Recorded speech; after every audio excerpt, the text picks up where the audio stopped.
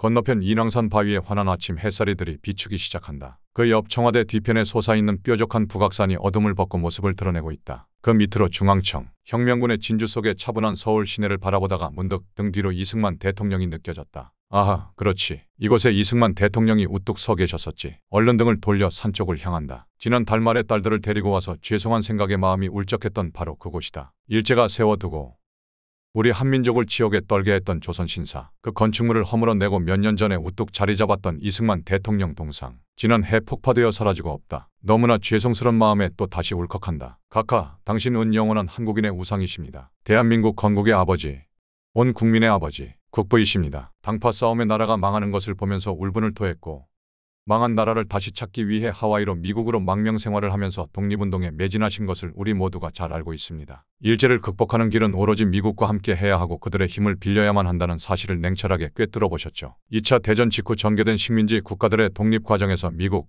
영국, 중국, 소련을 설득하여 마침내 자유민주주의 대한민국을 건국하셨습니다. 일제가 호령하던 바로 그곳 총독부 건물에 당당하게 올라서 새로운 한민족 국가 건국을 선포하셨습니다. 조선을 이어받아 5천년 역사를 다시 시작하셨습니다. 평화선을 그어 일제와 중공, 북한 기밀성을 물리치고 국토를 확정하셨고 농지 개혁을 통해 고달픈 농민들에게 먹고 살 일터를 주셨습니다. 그런데 북쪽 공산당, 남쪽 불순분자들은 끝끝내 대한민국 건설을 부정하고 방해하더니 6.25 남침을 강행해 전국을 전쟁터로 만들었습니다. 각하께서는 곧바로 미국과 유엔 지원을 요청하여 불과 하루 만에 유엔군 파견을 이끌어냈고 전 세계 67개국의 지원을 받아내 백척간두의 나라를 살려내셨습니다. 조선 개국 공신인 이성계는 500년 이상 국조.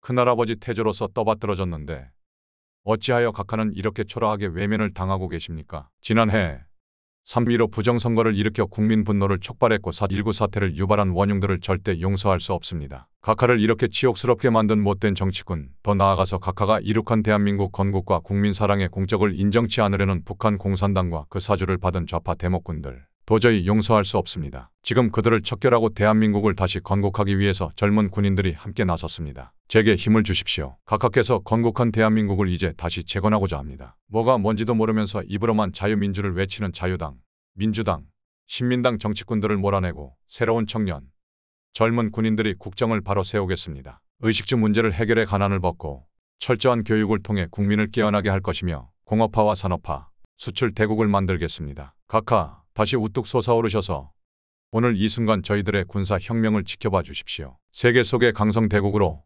조선처럼 500년 이상 가는 당당한 대한민국을 반드시 일궈내겠습니다. 각하, 무슨 생각을 그렇게 골똘히 하십니까? 옆에 있던 한 장군이 나의 깊은 상념을 깨운다. 언뜻 눈가를 훔치며 현실로 돌아선다. 여기 서 계시던 이승만 대통령 생각나시는가? 예, 당연하지요. 지난해 그토록 요란스럽게 폭파해버렸지요. 주변의 본부팀 요원들 몇몇이 내 주변으로 모여든다. 모두가 숙연하게 묵념을 올린다.